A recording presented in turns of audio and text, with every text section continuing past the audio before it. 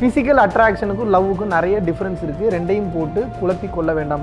குறிப்பாக அதை யாருக்கு பேசுகிறேன் அப்படின்னா இளைஞர்களுக்கு தான் பேசுகிறேன். வாழ்க்கையே மொத்தமும் மாயின்னு தெரிஞ்சு போச்சு. இதில் லவ் மட்டும் எப்படி உண்மையாக இருக்கும்? லவ்வும் போய் தான். லவ்னா நான் வந்து அல்டிமேட் லவ் சொல்ல சுப்ரீம் பவரோட லவ் சொல்ல நீங்கள் சொல்கிறீங்கல்ல சோ கால்டு லவ்ன்றது லவ்வே கிடையாது. இட்ஸ் கால்டு கான்ட்ராக்ட் கான்ட்ராக்ட்னா என்ன? நான் உனக்கு இதை கொடுப்பேன் நீ எனக்கு இதை கொடு. நான் உனக்கு கை கால் அமுத்தி விடுவேன் நீ எனக்கு வேணுங்கிறத சம்பாரிச்சு போடு. நான் உனக்கு செக்ஷுவல் டிசைர்ஸை நான் பூர்த்தி பண்ணுவேன் என்னை நீ பத்திரமா பார்த்துக்க இது எப்படி லவ்வாக இருக்கும்? உண்மையான லவ்னா என்ன?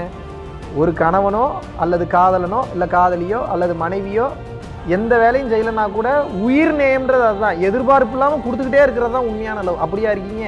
வேலைக்கு போகலன்னா சண்டை வருது. பிடிச்ச மாதிரி நடக்கலைன்னா சண்டை வருது. மரியாதை கொடுக்கலன்னா சண்டை வருது. கண்டபடி திட்டுறீங்க. ஏகப்பட்ட கா அசிங்கப்படுத்துறீங்க காயப்படுத்துறீங்க. இது எப்படி உண்மையான லவ்வாக இருக்க முடியும்?